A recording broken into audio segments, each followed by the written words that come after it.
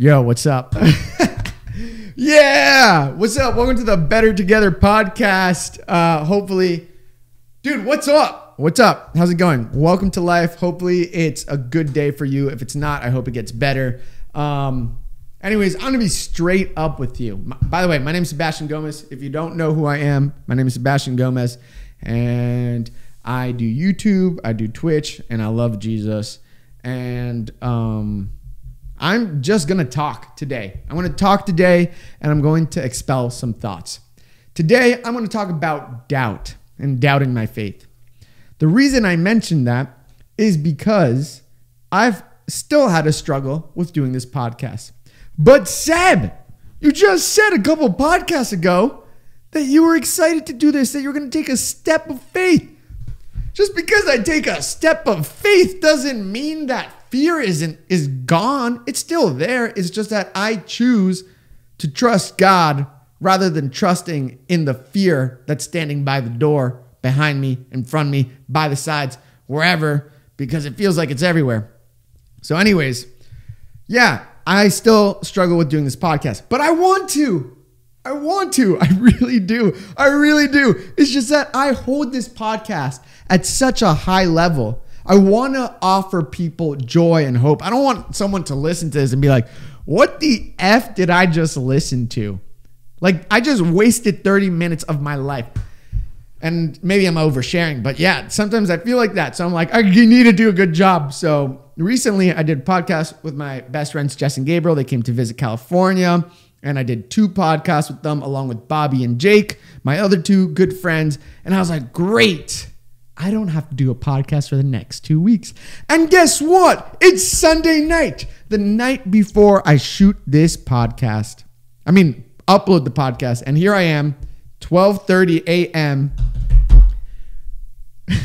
just giving it a shot because I'm facing my fears and I'm trusting in Jesus. And so please, if you're listening to this, please give me some grace because I'm going to do my best. And the reason I say please give me this some grace is because I don't see myself as a teacher. I've never seen myself as a professor or someone smart because guess what? I went to summer school three times in a row. Yes, that's right, ladies and gentlemen. I went to school. I can't even speak. I went to summer school three times in a row. Math, religion, science, every topic. Failed all of it. Dude, so please understand where I'm coming from. I'm going to give it my very best shot. Dude, I even struggle with reading. I don't know if anyone ever experienced this when they were a kid, but when I was a kid in middle school, uh, I'm going to give you guys an example. So when I was in middle school, I had this teacher called Miss Ritchie, and she liked to have the whole class read through the textbook. So she'd start off with Natalie, and she'd be like, Natalie, we're going to start off reading paragraphs 1 through 24 on the textbook. Natalie, you start off. And one by one by one, everyone's reading each and every paragraph. And I'm just like, all right, I'm sitting in the back. I'm just like, all right, who's next? Billy's next. Okay, then it's Timmy. Then it's Greg. Then it's Sarah. Then it's Emily. And I'm like, oh my gosh, I'm paragraph number nine. And I try, I look at paragraph number nine and I'm like trying to remember it. I read it over and over and over again because the minute it's my turn, I know I'm going to screw up. I don't want to sound dumb. I don't want to sound stupid. I don't want to sound like a fool in front of my classmates. And guess what? I still do. Why? Because I still screw it up. I screwed it up all the time in middle school. It'd be my turn and I'd still screw it up. And I'd try to memorize that paragraph like 30 times. I still use my finger anytime I read. I still use my finger under each and every word because I can't just look at a book and read at it. I need my finger to be under every word because I still screw up. I put like words, like a word that's behind another word that I'm supposed to read first, and I put that word behind and I put it in front of it. Anyways, I have a hard time reading. I have a hard time studying. I'm not the best scholar. I'm not the best teacher. I'm not the best explainer, but I'm going to give it my very best shot because guess what? I want to do something good and I want to glorify God through it. So please, if you're listening to this, if you're watching this, I'd really appreciate some grace. so thank you for about that. Thank you about that. I can't even speak. No, but seriously, thank you about that. I really appreciate it. So with that being said, uh, thank you for hearing me rant. I want to talk about something which is very important to me, which is called doubting faith. Why? Because that's what I'm uh, I've been recently experiencing with this podcast, with uh, trying to understand what God has called me to do, and uh, I'm going to go to a story in the Bible, which is the story of Peter and Jesus when they're out on a boat and Jesus walks on water. Now, the reason I want to talk about this is because I understand a lot of people doubt their faith. And I want to tell you and be the first person to let you know that I doubt my faith all the freaking time. A little less now, but I'll tell you why. I still doubt it for sure, but I doubt it a little less, and I'm going to explain why. So, we're going to enter this story. And I know that this story has been used by every pastor, every teacher. But please give me a shot. So, anyways, we're going to read this story. So, this story takes place right after Jesus uh, feeds the 5,000 with the fish and the loaves of bread. And so, I'm going to read this small little chapter and just tag along, maybe imagine it, because that's what I try to do when I hear stories from the Bible. I just try to imagine it. And it's effing cool. Sorry. Oh, let's go. Anyways, so this is a story. Jesus walks on water. Immediately after this, Jesus insisted that his disciples get back into the boat and cross to the other side of the lake. While he sent the people home, after sending the, them home, he went up into the hills by himself to pray. Night fell while he was out there alone. Meanwhile, the disciples were in trouble far away from land, for a strong wind had risen, and they were fighting heavy waves. About three o'clock in the morning, Jesus came toward them, walking on water. When the disciples saw him walking on the water, they were terrified. In their fear, they cried out, It's a ghost! But Jesus spoke to them at once. Don't be afraid, he said. Take courage. I'm here. Then Peter called to him, Lord, if it's really you, tell me to come to you, walking on the water. Yes, come, Jesus said. So Peter went over the side of the boat and walked on the water towards Jesus. But when he saw the strong wind and the waves, he was terrified and began to sink. Save me, Lord, he shouted. Jesus immediately reached out and grabbed him. You have so little faith, Jesus said. Why did you doubt me? When they climbed back into the boat, the wind stopped. Then the disciples worshipped him. You are the Son of God, they exclaimed. After they had crossed the lake, they landed at Genes- Gennesaret. When the people recognized Jesus, the news of his arrival spread quickly throughout the whole area and soon people were bringing all their sick to be healed. They begged him to let the sick touch at least the fringe of his robe, and all who touched him were healed. So, the reason I'm talking about this story is because when I did this first podcast, I was like, I believe in Jesus. Let's go. I'm going to take a step of faith. Let's do it. Let's do it. Let's do it. And I was like, Jesus called me. Let's go. And I see myself as Paul, I mean, Paul, I see myself as Peter sometimes. Because in this story, Peter makes an impulsive decision. He's like, Lord, is that you? If it's you, tell me to come out on the water. And he's like, Yeah, it's me. Paul doesn't hesitate. He just jumps out in the water. And that's what I did with this podcast, where I was kind of like, I'm going to jump out. I'm going to do it. I'm going to take this step of faith. And guess what? I did it and I got excited and I was like, oh my gosh, I'm trusting in Jesus. I'm doing it. And all of a sudden, the wind, the waves, the water start hitting. And I start sinking. And I was like, what the heck is going on? I thought this was to be easy. I thought this was to be a okay. The doubt came in. And it's cool. The reason I mention this is because I know a lot of people have experienced doubt. A lot of the times when we start a relationship with Jesus, when we first get to meet him, we get excited. And that's okay. Like, I get excited. I've always been excited. I get super excited when Jesus calls me to something. And I'm like, I'm going to do it for you, Lord. But excitement can only bring you so far because the world hits you, problems hit you, illnesses hit you, your friends, your doubts, your family, everything from the world just hits you, and life gets freaking hard. Really hard. And so you start to feel like sinking. You feel like doubting, and you're just like, what the heck is going on? I don't know what to do. I thought this was to be easy. I thought all I had to do was look at you. I thought I just had to follow your word and I was good. But I wanted to go into this next part of the story that I recently read. So, as we're sinking, or as Peter was sinking, Jesus immediately reached out and grabbed him. And he goes on to say, You have so little faith, Jesus said. Why do you doubt me? Why do you doubt me? Why do you doubt me? Why do you doubt me? Why do you doubt me? And it's cool that he mentions that. And I think it's cool that he mentions that because I think that's the point of the story.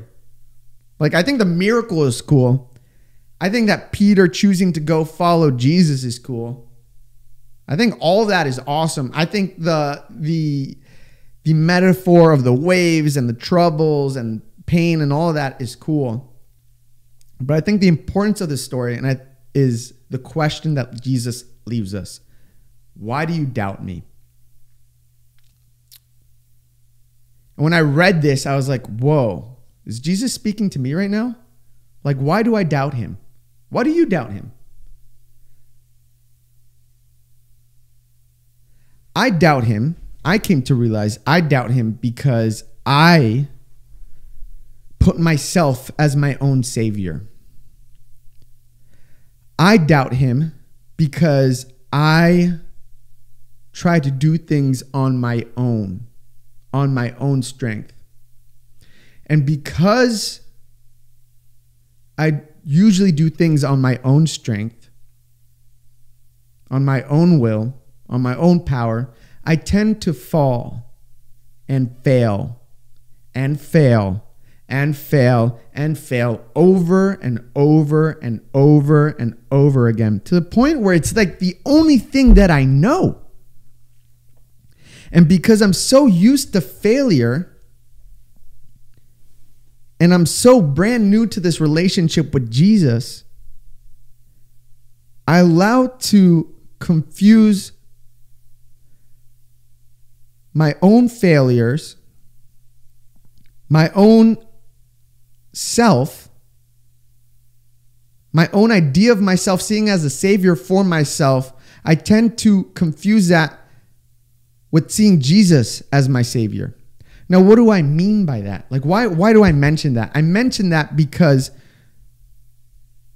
when you see Jesus as your savior, or as your rock, or as your anchor, Things are completely different. But because we don't know the outcome of Him being our rock or foundation, we tend to have little faith because the only thing we know is failure. And I think that's so funny that Jesus answers his own question before even asking the question. He says, You have so little faith. Why do you doubt me? Peter must have been like, uh, because I have little faith. That's why. And I look at myself and I'm like, yeah, I have little faith. I have little faith. He answered the question for me. It's cool. I think this is cool too. I'm just talking right now, but I think it's cool to see this because Jesus, one, he's loving enough to answer the question for me and kind of set me on the right path to figure out where I need to go to answer my his question. But he's also so loving to uh to start a dialogue with me and ask me the question, why do you doubt me? He doesn't go up to Peter and says, Dude, you shouldn't have doubted me. He allows him the question. He allows him, he presents him with a question. And I think that's awesome because it shows that Jesus desires dialogue with you. He desires conversation with you. He delights to have conversation with you. And he's not afraid of your questions. He's not afraid of your doubt. He's not afraid of the things you're afraid to talk about in front of him.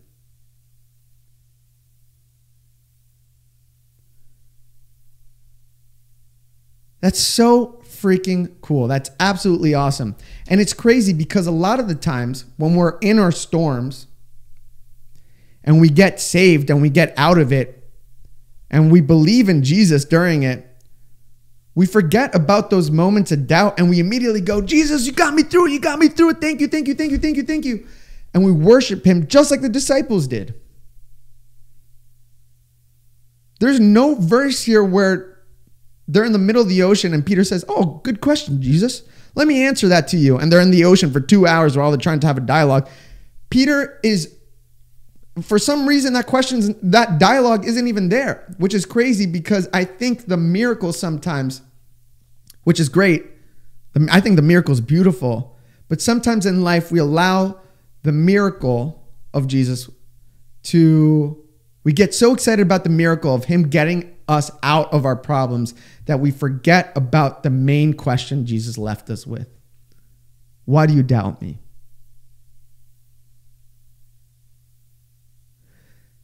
So I present this to you, this this story to you because I want you to know that Jesus is not afraid of your doubt.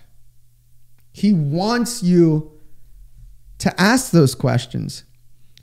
But uh, if you want these answers, one of the things I've learned personally in my life is that if I want to have little doubt or not experience doubt as much, Jump into relationship with him. Jump into dialogue with him.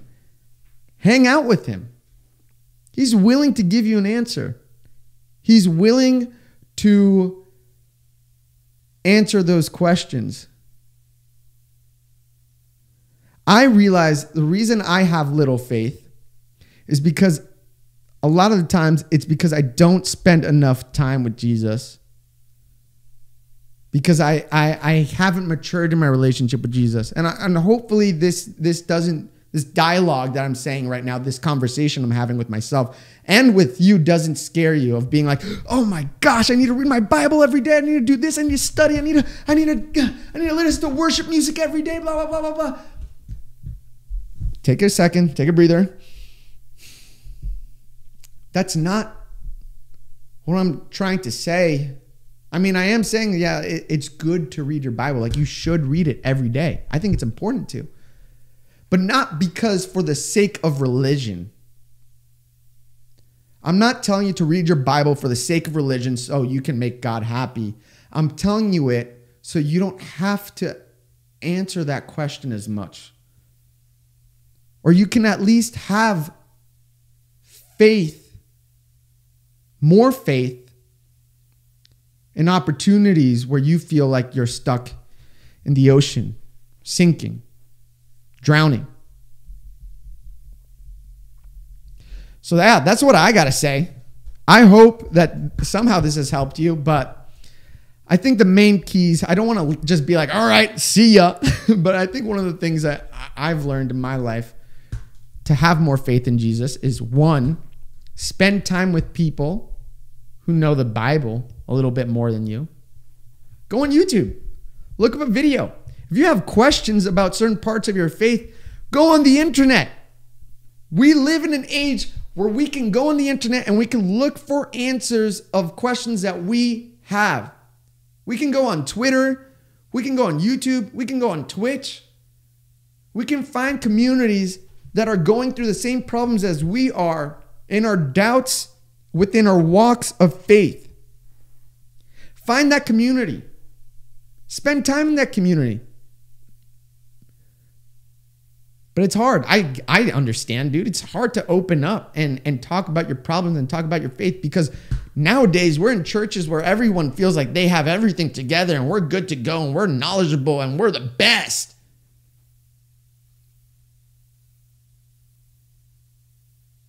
Sometimes I've walked into churches where people are so knowledgeable that it's put fear in me to even want to talk about my own problems or my own doubts because I'm just like, dude, I should have faith as much as that guy. I should act as smart as that guy. And I get it. Sometimes people are so in love with their faith, uh, faith that they they they love to talk about certain things, and and and unfortunately, sometimes people get scared and confused, and they're like, you know what? Maybe that guy who's talking so so, where he's talking so enamored about his faith, he's not trying to do it to show off, maybe. It's, it's just that he loves Jesus and he's in a different walk. I'm trying to play, trying to see both sides of the story, I guess. But I hope when you listen to this podcast, down in the comment section below or wherever, I pray that you find the community where you can express that doubt where you can find those answers to your questions, whether it's through whether it's through the people you're hanging out with, whether it's you reading your Bible, whether it's through this YouTube video. But most of all, I hope you find your answers through your relationship with Jesus.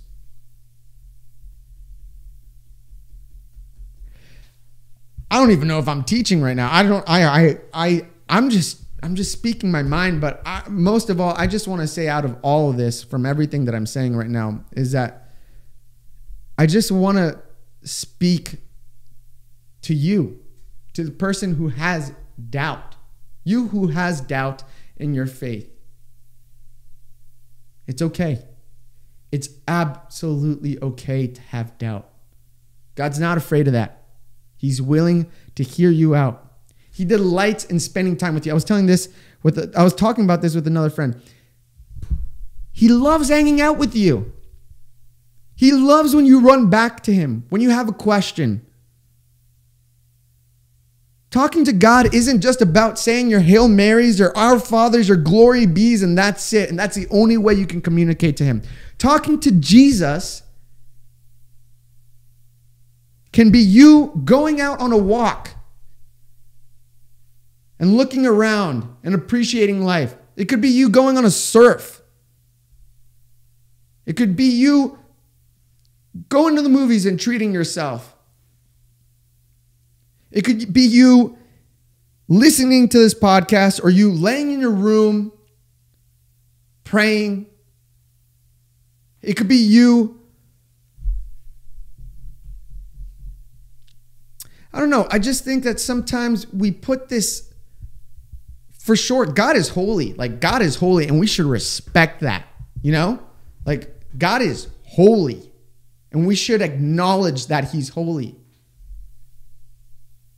But He's also, I mean, He came down as a human, so He can speak with us. So He could show us that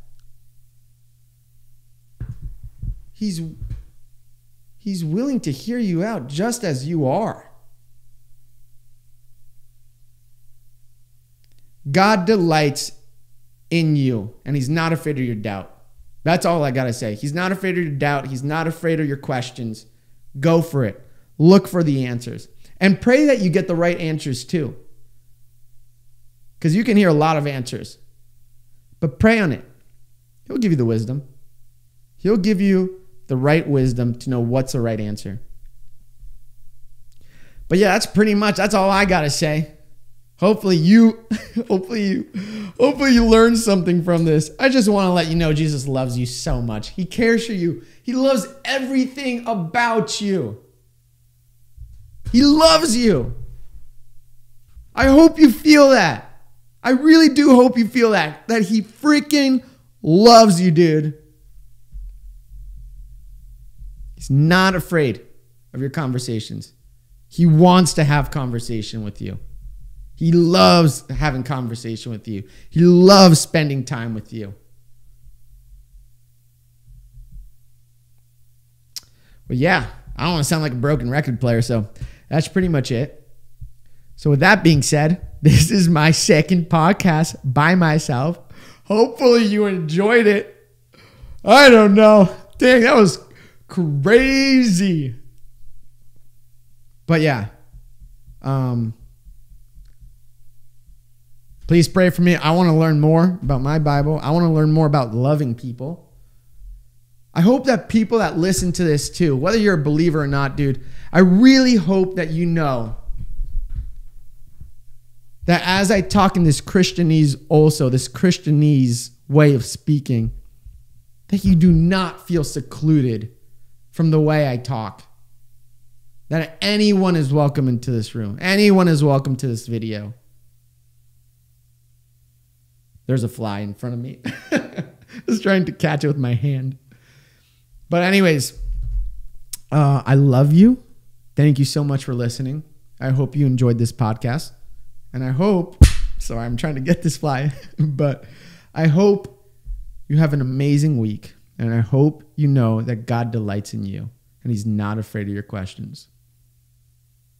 I even suggested maybe after this podcast, sit down, take a second, five minutes, two minutes, one minute, an hour. Just talk to Him. He's ready. He's waiting at the door of your heart, mind, and soul. Don't be afraid. He's not going to bite. He loves you. I'll see you guys later. Love you guys. Peace out. And remember, we're always better together. Love you guys. Peace.